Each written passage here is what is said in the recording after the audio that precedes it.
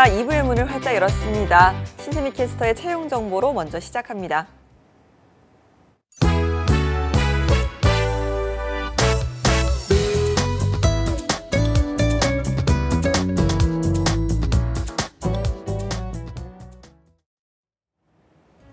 네, 취업 정보 알려드림의 신샘입니다. 오늘의 공기업 및 공공기관 채용 소식입니다.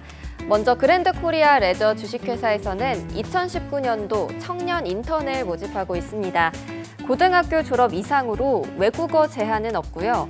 공고일 이전에 GKL 인턴 근무 유경험자를 제외하고 있습니다. 관심 있는 분들은 3월 11일까지 지원하시기 바랍니다. 대한무역투자진흥공사 코트라에서는 외국인 투자 유치 전문 위원을 모집하고 있는데요. 원어민 수준의 영어 능통자와 제2외국어 가능자를 우대하고 있고요. 모집 기간은 3월 22일까지입니다.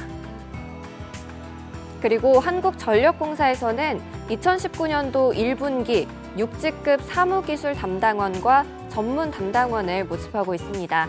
학력과 연령에 제한은 없고요. 장애인과 냉난방 관리원 그리고 일반 기능원에게는 가점이 있습니다. 모집 기간은 3월 12일까지입니다. 마지막으로 근로복지공단에서는 창원병원의 약무직 3급을 신규 채용하고 있는데요. 약사 면허 취득 후 3년 이상으로 당해 업무에 근무 경력이 있는 분과 또 해당 분야 자격 관련 업무 경력자를 우대하고 있습니다. 모집 기간은 3월 12일까지입니다. 이상으로 취업 정보 알려드림의 신샘이었습니다.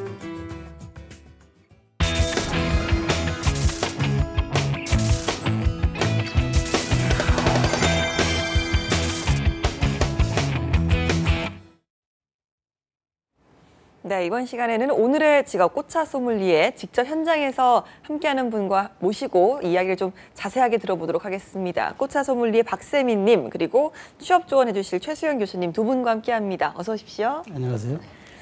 네, 박세미 소믈리에 님 반갑습니다. 저희가 일부에서 화면에서 또 인사를 먼저 드렸었는데요. 정확히 좀 소개를 한번 부탁을 좀 드릴게요. 네, 안녕하세요. 저는 꽃차 소믈리에 First of May로 활동하고 있는 박세미입니다. 어, 현재 한국 티 마스터 협회 회장으로 꽃차 소믈리에 자격증 수업을 하고 있고요. 또 아름다운 향기라는 그 브랜드로 꽃향기가 나는 미크티 사업을 준비 중에 있습니다. 네, 한국 티마스터 협회 회장님이시라고 하셨는데요.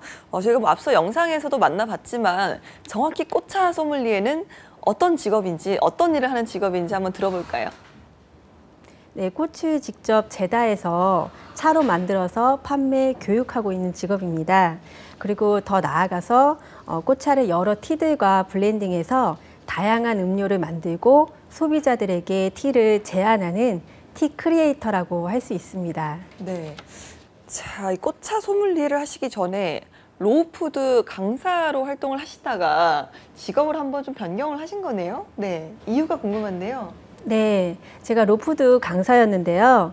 어, raw food에는 생과일과 야채를 주스나 스무디로 만들어 먹는 크렌진 음료가 있어요. 네, 맞아요. 네, 예, 많은 분들이 관심을 이제 건강에 음. 관심을 가지다 보니까 크렌진 주스를 이렇게 찾으시더라고요. 그래서 저도 건강에 관련된 음료를 좀 관심을 갖고 또 차를 즐겨 마시고 있었는데 그 중에서 이제 카페인이 없는 차를 찾다 보니까 꽃차를 알게 되고 또 즐겨 마시면서 꽃차의 매력에 푹 빠지게 된 거죠. 네. 예, 그래서 저를 어, 결국에는 raw food 강사 일을 내려놓고 예, 꽃차 소믈리에 사업을 시작하게 된 겁니다. 네, 아니 저도 이제 처음에 꽃차 소믈리에라는 이야기 좀 들었을 때 아, 꽃차 어떤 것들이 있지라는 생각을 했는데 제가 정말 평소에도 쉬- 쉽게 접하는 차들 중에 꽃차가 있었고 또 이렇게 제가 또 한번 직접 마셔봤더니 맛도 굉장히 좀 익숙하면서도 좀 독특하기도 하고 네, 이좀 드셔보시는 분들만 아시지 않을까 생각이 드는데 그렇게 멀리 있지 않은 것들이 또 꽃차더라고요.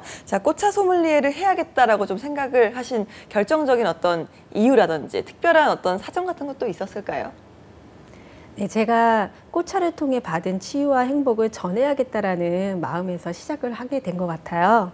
꽃은 이제 나이에 상관없이 누구나 다 좋아하시고 또 꽃을 보면 많은 위로를 받잖아요. 네. 근데 꽃을 눈으로 보는 것에 그치지 않고 차로 만들어 먹으면 보는 행복에서 먹는 행복까지 기쁨이 또 즐거움이 배가 되는 걸 느끼는 것 같아요. 네. 그래서 그 행복을 전하는 전도사가 되고 싶어서 음. 예, 제가 사업을 시작하게 된 겁니다. 예. 예. 저는 이 꽃을 먹는다라고 하면 기껏해야 화전 정도 생각하고 있었는데 차가 훨씬 더 좀 우아한 느낌이 있긴 하네요. 원래도 이렇게 좀 식품이라든지 뭐 꽃 관련된 전공을 좀 하셨는지 궁금합니다. 네, 원래 전공은 디자인 계열입니다. 네. 전혀 상관없는 것 같지만 막상 꽃차 소믈리에로서 활동을 하다 보니까요. 미적 감각이 많이 도움이 되더라고요. 음. 예, 그래서 꽃차가 감성적인 차라서 그 감성을 많은 사람들에게 전달하기 위해서는 이제 꽃차를 잘 연출해서 오. 또 미적 감각을 발휘해서 사진을 찍어야 되겠더라고요. 그런 부분에 있어서 미술 공부가 많이 도움이 된 것 같습니다. 네, 그렇죠. 요즘은 정말 맛뿐만 아니라 또 비주얼도 추구를 하는 시대이기 때문에 분명히 좀 많은 도움을 받으시는 것 같습니다. 자, 꽃차 소믈리에 오늘 이 직업을 보신 분들, 아, 나도 한번 해보고 싶다라는 생각 하시는 분들 많으실 것 같은데요. 어떻게 하면 이 꽃차 소믈리에가 될 수 있는지 소개를 좀 해주시죠. 네, 전문적인 교육기관에서 자격증을 이수하시면 됩니다. 보통 꽃이 사계절로 피기 때문에 전문 자격증 과정은 1년 정도 걸린다고 생각하시면 됩니다. 계절별로 꽃을 경험하시고 또 재다할 줄 알아야 하기 때문에 다른 자격증 과정보다 오래 걸린다고 할 수 있습니다. 네, 전문적인 교육기관이라고 하셨는데, 뭐 아까 말씀하셨던 한국 티마스터 협회도 있을 테고, 이 밖에도 또 다른 기관이 있을까요?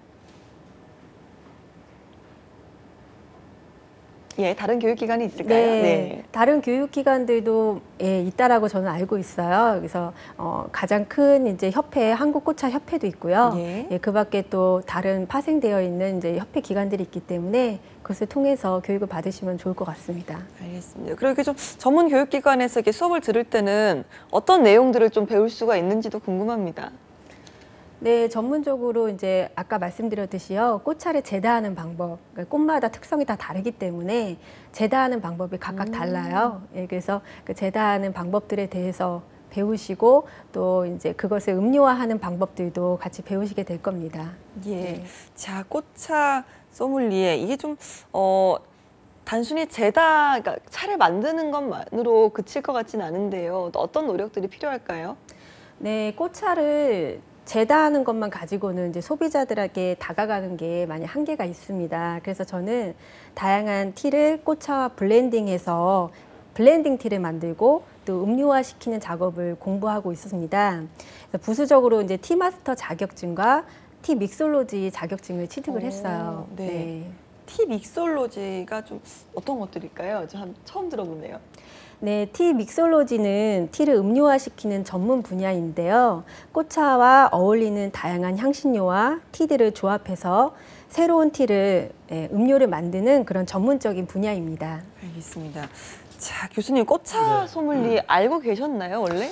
사실 몰랐어요. 그렇죠. 예, 잘 저도. 처음 들었거든요. 자, 이제 어떤 공부를 해야 이 꽃차 소믈리에가 되는데 좀 도움이 될까요? 네, 저도 우연히 이번 기회에 이제 꽃차 소믈리에에 대해서 이제 알아본 계기가 됐는데 사실 따지고 보면 이것도 일종의 food creator의 음. 영역으로 볼 수가 있거든요. 그러니까 굉장히 그 한 재료를 갖고 이제 창의적인 것을 결합해서 새로운 것을 만들어내는 이런 거기 때문에 기본적으로 일단 차에 대한 그 전반적인 지식이 예. 필요할 것 같고요. 두 번째가 이제 그 음료의 성분과 어떤 건강 관계에 대한 상관 관계 이런 것들을 조금 공부를 하시면 굉장히 도움이 되지 않을까 싶고 그다음에 꽃에 대한 다양한 지식 그러니까 이를테면 식물 도감 같은 경- 경우를 예. 자세히 보면서 또 이것을 실생활에 좀 적응시켜 나가는 과정을 통해서 자기가 빠르게 체화해 나간다면은 음. 이 아마 꽃차 이 소믈리에로서 빠르게 정착을 하는데 좀 도움이 되지 않을까 네. 그런 생각이 듭니다. 알겠습니다. 이 박세미 소믈리에님께서는 지금 이제 하시는 일이 적성에 맞으신지 이 부분도 참 궁금합니다. 네. 어, 요리와 미술 쪽에 관심이 많은 저에게는 너무나도 적성에 맞는 일인 것 같습니다.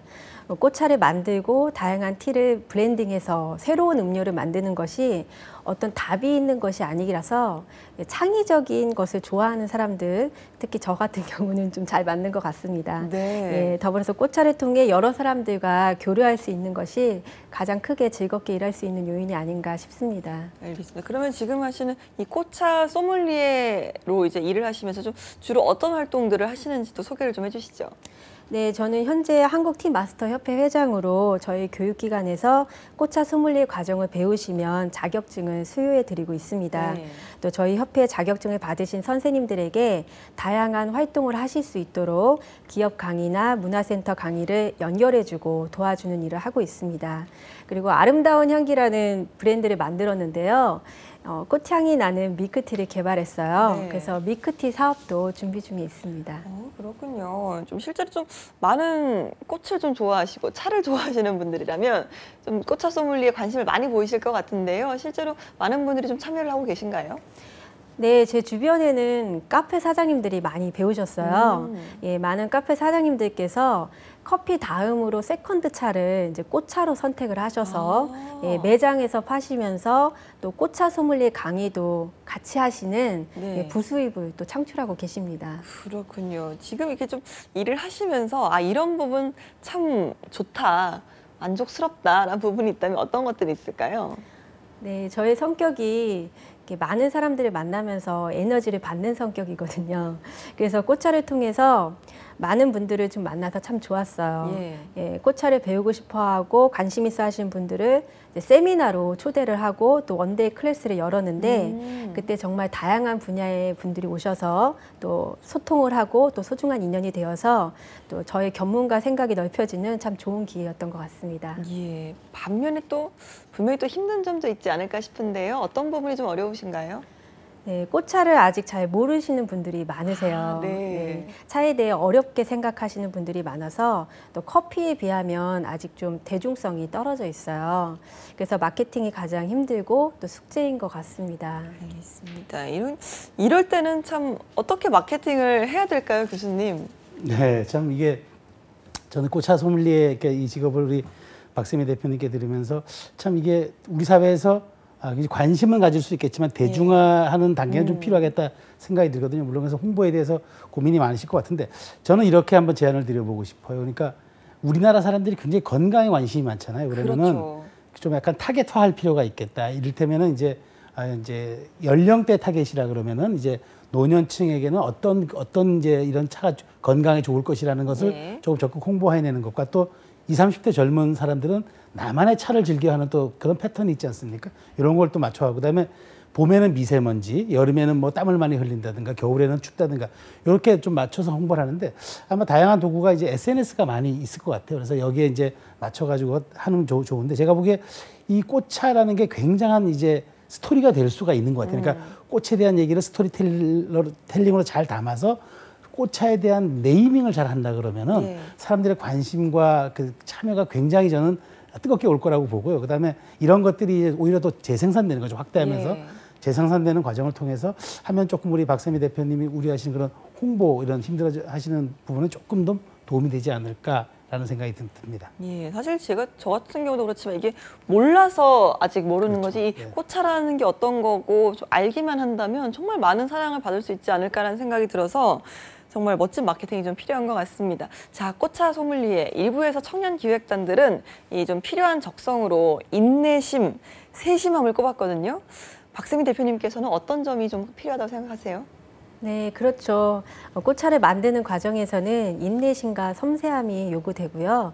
음료를 만드는 과정에서는 요리 분야이기 때문에 미각이 발달되시면 참 좋을 것 같아요. 그리고 기본적으로 요리를 좀 잘하시는 분이 음료도 좀 잘 만드시는 오.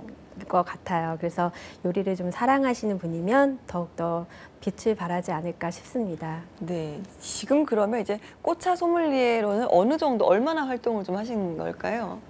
네, 아까도 말씀드렸듯이 이제 기본 배우는 과정이 1년이 넘어야 되기 때문에 저는 지금 이제 어, 2년 차 되고 있습니다. 예. 네, 지금 한 2년 정도 꽃차를 배우시고 또 다루시면서 어, 좀 가장 좀 보람을 느꼈던 에피소드가 있다고 들었거든요. 네, 저의 개인 블로그에 매달 꽃차 칼럼을 연재를 하고 있는데요. 많은 분들이 저희 꽃차 칼럼을 통해서 꽃차에 대해 알아가고 관심을 가져주실 때 가장 보람되고 기쁘지 않을까 싶습니다. 그리고 특히 또 어떤 분들은 그 칼럼을 보시고 꽃차를 구매하고 싶다고 연락을 주시는데 저는 아직 꽃차를 판매하고 있지는 않거든요. 아, 예, 네. 그래서 그럴 때 참 많이 아쉽더라고요. 근데 아- 하지만 이제 앞으로 저한테 배우신 분들이 꽃차를 판매도 하셔서 많은 분들이 쉽게 꽃차를 구매하시고 즐기셨으면 좋겠습니다. 알겠습니다. 이제 이 꽃차라는 게 이제 꽃이 굉장히 많은 종류가 있잖아요. 그러다 보니까 뭐 꽃차도 그만큼 다양한 종류가 있고 또 블렌딩까지 해버리면 무궁무진해질 것 같은데요. 그 중에서도 좀 대표님께서 개인적으로 즐겨 하시거나 좀 좋아하시는 꽃차가 있다면 어떤 게 있을까요? 네, 저는 목련꽃차를 개인적으로 굉장히 좋아합니다. 오, 네. 네, 목련꽃차는 기관지에 굉장히 좋거든요. 그래서 요새같이 미세먼지 많은 날 드시면 건강에 정말 좋고요. 또 목련은 향이 좋아요. 그래서 어, 목련꽃차를 마시면 마음이 평안해지고 또 건강해지는 걸 느끼실 겁니다. 네, 목련이 또 굉장히 초봄과 어울리는 꽃이기 때문에 이맘때 많이들 좀 드시면 좋을 것 같습니다. 자, 그럼 만약에 이제 꽃을 만드실 때요, 목련 같은 경우는 직접 또 채집도 하시는 걸까요? 네, 저희 꽃차 소믈리에들은 꽃을 구매할 때 그냥 일반적으로 뭐 판매하는 곳에서 구매를 네. 하는 게 아니고요. 이제 농장에서 계약 농장을 해서 아. 예, 받고 있습니다. 그래서 네. 주로 이제 계약 농장에서는 예, 무농약으로 유기농 인증 받은 음. 농장이고 또 산 속에 있거나 네. 예, 사람 손길이 닿지 않는 깊은 산 속에 있거나 아니면 이제 비닐하우스로 재배되는 곳에서 예, 받아서 수급을 받아서 하고 네. 있습니다. 저는 굉장히 그냥 순진하게 아 그러면 길가에 꽃을 좀 따다가 덮어서 하시는 건가라는 생각도 한번 해봤는데 그렇군요. 알겠습니다. 이 밖에도 좀 아까 뭐 밀크티 이야기도 하셨는데요. 저도 굉장히 좋아하는 밀크티가 rose 밀크티가 됐거든요. 지난 주말에. 네. 많은 분들이 좀 호불호 없이 좀 다 같이 즐길 수 있는 꽃차가 있다면 어떤 것들이 있을까요? 네, 아무래도 국화차가 아닐까 싶습니다. 국화차는 부드럽고요. 또 향도 좋고 끝맛이 또 천연 맞아요. 단맛이 있어요. 예. 예, 그래서 모두들 좋아하실 것 같습니다. 네, 국화차는 정말 좀 오래전부터 우리에게 좀 익숙한 차 중에 하나가 아닌가 하는 생각이 듭니다. 교수님께서도 혹시 꽃차를 좀 즐기시나요? 제가 제가 말씀드리고 싶은 네. 게 저도 그래서 아는 게 꼭 국화차밖에 없어요. 그러니까 과거에 이제 뭐 이렇게 가족들과 어느 축제 같은데 꽃 축제 같은데 가거나 하면은 이제 국화차를 팔더라고요. 그래서 이제 네. 그렇게 해서 한두 번 먹어봤는데 말씀하신 것처럼 약간 그 정말 특유의 향과 네. 그다음에 느낌이 좋아서 찾게 되는데 근데 이게 대부분 일상화돼 있지 않기 때문에 네. 대중화돼 있지 않아서 조금 그런 것들에 대한 선택이 폭- 선택지가 폭넓지 않다는 게 조금 아쉽긴 한데 오늘 아마 이저 그, 박세미 대표님이 이런 꽃차에 대한 효능을 잘 설명해 주셨기 때문에 앞으로 여기에 대한 관심들이 많이 높아질 것 같습니다. 예, 저도 지금 집에 생각해 보니까 민들레 꽃차가 집에 있었는데 오늘 집에 가서 한번 마셔보도록 해야겠습니다. 자, 꽃차를 만드는 과정도 어, 여러 과정이 있잖아요. 그 중에서도 가장 좀 어, 많이 신중해야 된다든지 좀 섬세하게 노력하는 작업이 있다면 어떤 것들이 있을까요? 네, 꽃차는 향이 굉장히 중요합니다. 그래서 저는 마지막 향매긴 과정을 굉장히 중요하게 여기고 있는데요. 어, 꽃차 만드는 과정 중 최종 마무리 과정에서 팬을 낮은 온도로 최소 여섯 시간 정도 꽃을 수성, 숙성을 시킵니다. 네. 그래서 이제 혹시 꽃이 타지 않을까 오. 잘 주의를 보- 봐가면서 해야 되는데요. 이 과정을 잘 하면은 어, 꽃의 이제 꽃이 열을 받잖아요. 네. 그래서 이제 아로마가 뿜어져 나오기 때문에 예, 향미가 좋은 꽃차가 됩니다. 네. 그럼 좀 주의해야 될, 특별히 좀 신경 써야 될 부분도 있을까요? 네, 그래서 자칫 주의를 기울이지 않으면은 꽃이 열에 굉장히 예민하기 때문에 그렇죠. 탈 수가 있어요. 오. 그래서 저도 처음에 꽃 열점을 잘못 잡아갖고 많이 낭패를 좀 봤었거든요. 네. 그래서 꽃차 이제 명인이라 함은 그런 그 각 꽃마다 살청하는 꽃 열점을 잘 아시고 또 숙련되게 하시는 분들을 명인이라고 할 수 있습니다. 네. 그렇군요. 아, 이게 또 꽃이 또 타는 생각을 또 못했네요. 알겠습니다. 혹시 좀 박세희 대표님만의 이 꽃차를 만드는 어떤 노하우 이런 게 있다면 한번 좀 전해주고 가시죠. 네. 저는 장미꽃차 같은 경우에는 바로 직화로 덕습니다. 왜냐하면 장미꽃이 보기에는 굉장히 부드러워 보이지만은 좀 질기거든요. 그래서 직화로 덕으면은 깊은 맛의 꽃차가 됩니다. 어, 우리가 고기를 구워 먹을 때 겉은 바삭하게 하고 또 속은 부드럽게 해서 어, 예, 네. 맛있게 먹는 것과 같이 장미꽃 차를 이제 장미꽃을 직화로 덮으면은 어, 꽃잎 안에 맛과 수분을 가둘 수가 있습니다. 그래서 훨씬 더 깊은 네. 맛이 나고 있습니다. 예. 고기랑 비유를 해주시니까 바로 또 이해가 되는 것 같습니다. 차를 또 이렇게 즐길 때 저 같은 경우는 그냥 이렇게 쭉 마시지만 뭐 향도 좀 음미를 하고 여러 가지 차를 즐기는 방법이 있잖아요. 네. 어떤 것들이 있을까요? 네, 컵이나 티포트 같이 차를 담는 다구에 뜨거운 물을 한번 부어서 예열을 하시면 티가 가진 아로마를 온전히 느끼실 수 있습니다. 그렇지 않으면 맛만 있지 아로마는 온전히 느낄 수가 없는 그런 티가 되거든요. 그래서 티는 항상 주의하실 게 맛과 향을 같이 즐기는 게 기본이기 때문에 꼭 예열해서 드시기를 추천드립니다. 알겠습니다. 이제 또 꽃의 계절이잖아요. 어딜 가나 이제 눈 돌리는 곳이 다 꽃이 있어 있는 계절이 되는데 어, 이 밖에 좀 저희 같은 따로 이렇게 교육을 받지 않은 사람들도 꽃차를 좀 한번 만들어 본다든지 이럴 수 있을까요? 네. 아까도 말씀드렸듯이 꼭 유기농 인증을 받은 식용꽃을 이제 받으 어, 음. 농장에서 받으시면 되고요.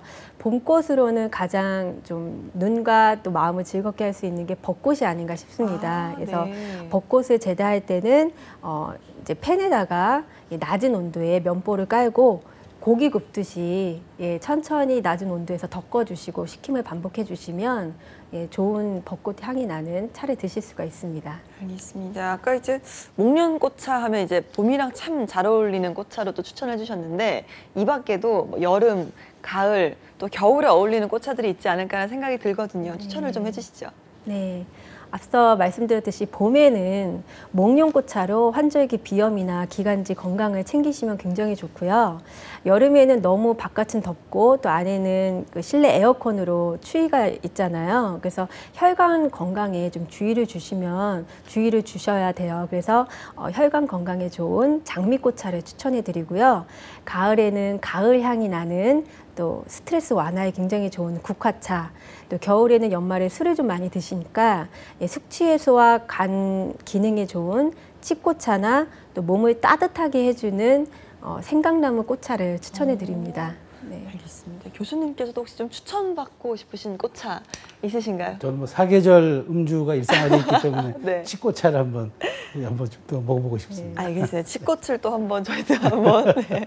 자세히 한번 파보는 시간이 있어야겠네요. 자, 이럴 때 이런 꽃차, 뭐 숙취하면 치꽃차처럼 좀 추천하실 만한 꽃차가 또 네. 있을까요? 그래서 지금 요새 현대인들이 눈 건강에 대해서 관심을 많이 갖고 계세요. 아무래도 스마트폰 때문이 아닐까 싶은데요. 눈 건강에 가장 좋은 차는 메리골드 꽃차입니다. 네. 그래서 메리골드에는 루테인 함량이 다량 예, 있기 때문에 메리골드를 꾸준히 드시면 아름다운 눈을 유지하실 수 있지 않을까 싶습니다. 음, 네. 네. 메리골드 기억을 좀 해둬야겠습니다. 사실 꽃차 소믈리에라고 했을 때 좀 많은 분들이 이 수입에 대해서도 궁금해하실 것 같은데요. 예민한 질문이지만 좀 어느 정도 정도 저희가 좀 알 수 있을까요? 네, 제가 예를 들어서 말씀을 드리면은요, 꽃 이제 농장에서 제가 국화차를 1kg를 받았는데 어, 1kg에 2만 5천 원을 주문을 했어요. 근데 1kg를 이제 재다 하면은 150g이 나오는데 보통 이제 10g에 만 원 정도 판매를 하고 있습니다. 네. 예, 그러면 대략 이제 수입이 짐작이 가시겠죠. 네. 예, 꽃차를 판매하거나 납품하시면 소득이 꽤 좋을 것 같습니다.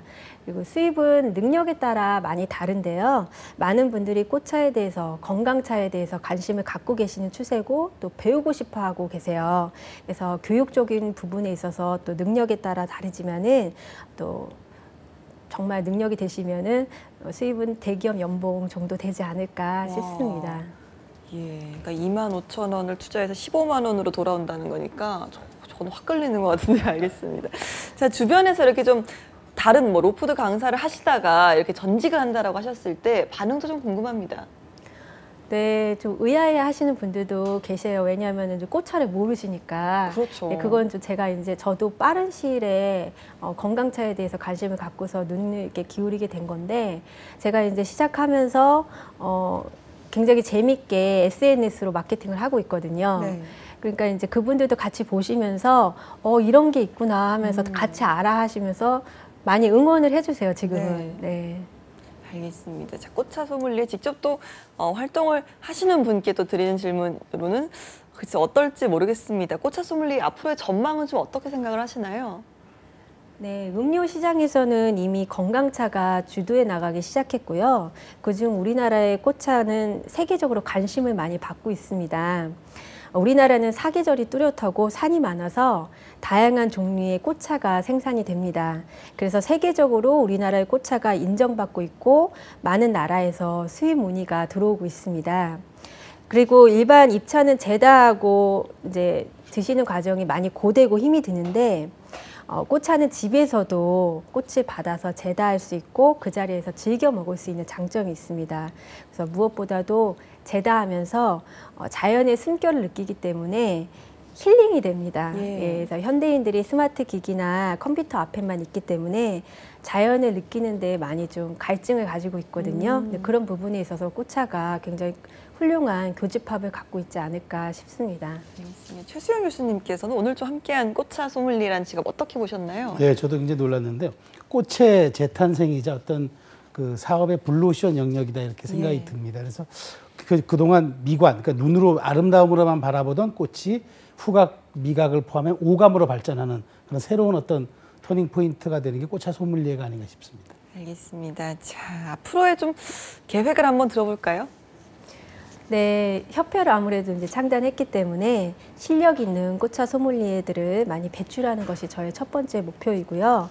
또 꽃향기가 나는 밀크티를 개발했는데 어, 기업들에게 afternoon 플랫폼으로 다가갈 계획이에요. 예, 어, 회사에서 직장 상사들과 직원들이 티타임을 가지실 수 있도록 밀크티와 스콘을 퀵으로 배달해 드리는 플랫폼입니다. 단순히 tea를 파는 것을 넘어서 직장 안에서 티타임 문화를 정착하고 싶어서 예, 만든 플랫폼이에요. 그래서 교육 사업과 또 브랜드 플랫폼 사업으로 더욱 열심히 노력하는 한 해가 되지 않을까 싶습니다. 알겠습니다. 취업이 보인다. 오늘은 꽃차 소믈리에 대해서 알아보는 시간을 가졌는데요. 귀한 시간 내주셨습니다. 꽃차 소믈리에 박세미 대표님 또 최수영 교수님 고맙습니다. 감사합니다. 네, 오늘 준비한 내용은 여기까지입니다. 저희는 내일 오전 11시에 다시 돌아오도록 하겠습니다.